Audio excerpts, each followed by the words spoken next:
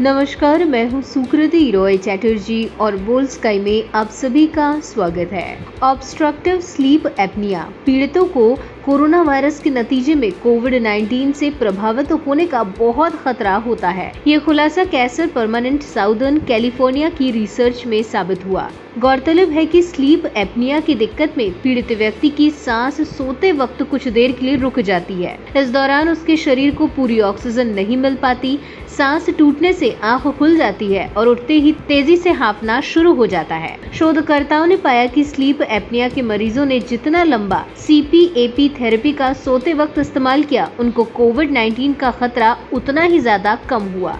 Research से sleep apnoea का इलाज न कराने और कोरोना संक्रमण की ज़्यादा दर में संबंध उजागर हुआ है। शोधकर्ताओं ने रिसर्च के दौरान मोटापा, पुरानी बीमारियाँ और दवा लेने वालों में भी कोविड 19 संक्रमण की ज़्यादा दर का पता लगाया।